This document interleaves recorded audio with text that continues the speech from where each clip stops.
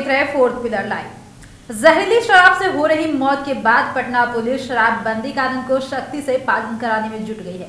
ताज़ा मामला है, पटना सिटी के आलमगंज थाना क्षेत्र के अलग अलग इलाके से, जहाँ से पुलिस ने छह शराब कारोबारी को गिरफ़्तार कर लिया है।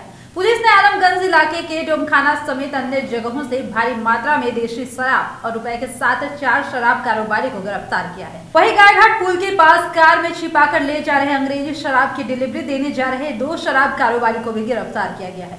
फ़िलहाल पुलिस ने सभी आरोपियों से करीब पूछताछ कर धंधे में शामिल अन्य लोगों की जानकारी जुटाकर मामले की पूछताछ में जुट गई है सात की दुकान है भैया जी अपने सात की दुकान है तो कपड़े की दुकान है बिना नहीं सर आप उनसे के देगा तो अरे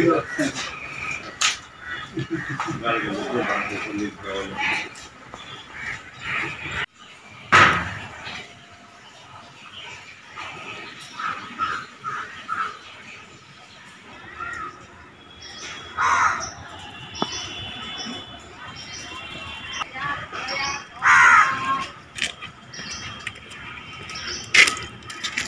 हाँ देसी शराब के विरुद्ध छापेमारी किया गया था तो ये लगभग तीन जगहों से साढ़े तीन सौ लीटर शराब बरामदगी हुई है। ये डोमखाना से लगभग एक सौ पचासी लीटर और तैंतालीस हज़ार एक सौ तीस रुपया लगभग बरामद हुआ है। वहीं अंग्रेज़ी शराब है सर उसमें गाड़ी भी बरामद थी लोगों को कहाँ से गिरफ़्तार किया गया? हाँ अंग्रेज़ी शराब बरामद हुई है ये गायघाट पुल के ऊपर पया नंबर छियालीस के पास।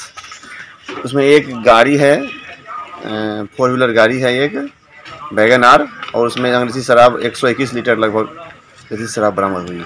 टोटल कितनी गिरफ्तारी है सर?